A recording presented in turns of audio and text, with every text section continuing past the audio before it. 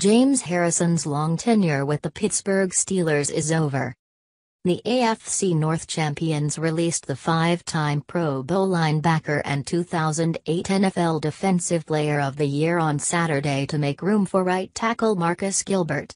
Gilbert is returning from a suspension for violating the league's performance-enhancing substance policy.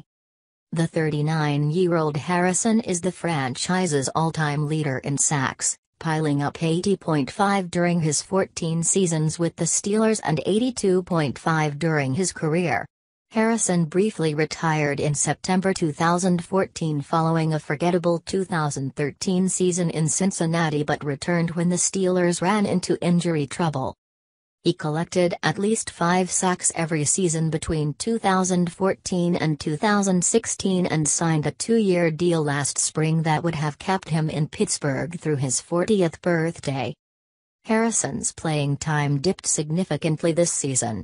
He has been active in just five of Pittsburgh's 14 games despite being injury-free.